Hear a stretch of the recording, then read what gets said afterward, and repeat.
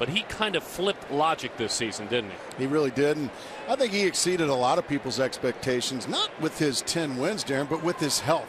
Infield in about halfway. He got the strikeout. Gas. Right back to 92 mile an hour fastball. Park, whether it's the Diamond Club or our new Strike Zone Lounge or the Sweet Lounge that we created. Well, One, two, everything is a favorite of mine.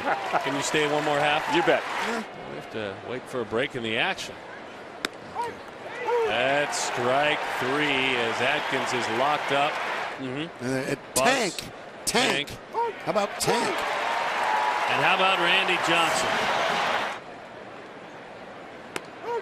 There you go. A breaking ball, a slider over the outside corner, and Dexter Fowler. Both have lightning arms as young players. That's strike three. Do something illegal? No, no. Ralphie didn't banish him down there.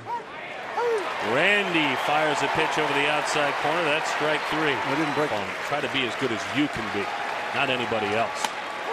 That's strike three. And I'll tell you what, this afternoon, Randy Chuck. Bouncing ball to Stephen Drew. Randy just went nine.